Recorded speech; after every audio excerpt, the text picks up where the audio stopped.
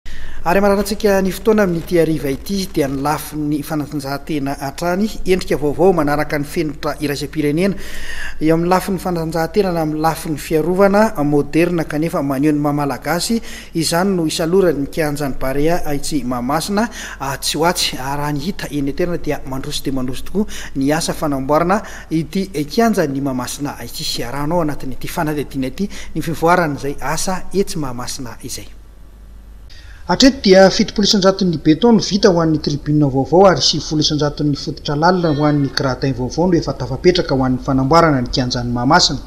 Baha toerana lehibe amin'ny firafitry ny kianja ny lafiny fiarovana ka natao laharam-pahamehana ny fanalalahana ny toerana fidirana sy fivoahana ny kianja, miavaka amin'izany ny fisian'ireo tohatra lehibe roa fidiran'ny mpijery.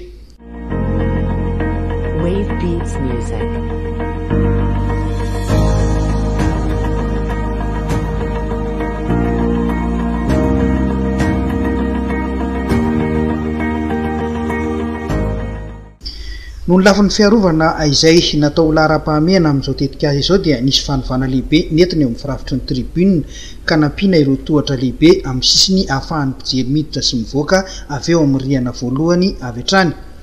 Mazava ny anjaran'ny fifa ao anatin'ity tetikasa ity dia ny fankatoavana ny kianja amin'ny fiafaran'ny asa. Io kianjan'ny Barea io, raha ny maha comité exécutif anay dia maro no milaza fa ny fifa no nanome vola an'io kianjan'ny Barea io.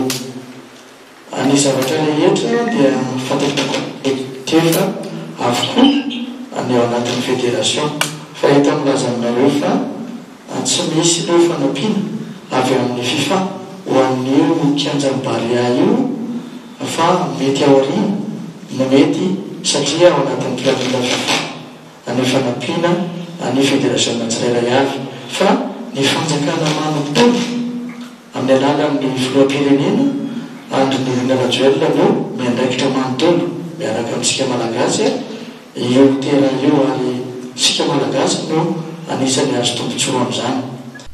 Tsy ho ela araka izany dia hiova endrika tanteraka Mahamasina.